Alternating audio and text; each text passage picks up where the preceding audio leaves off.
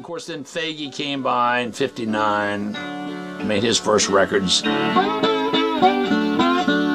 I had a little sneak suspicion back in back in mind that they were going to be collector's items one of these days, especially the Faheys. I just something just told me they were going to be. I wish I kept some of them. Well, I don't know, just because he was so weird, you know, so different.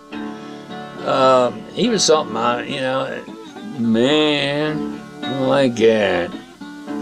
Way out, man. he,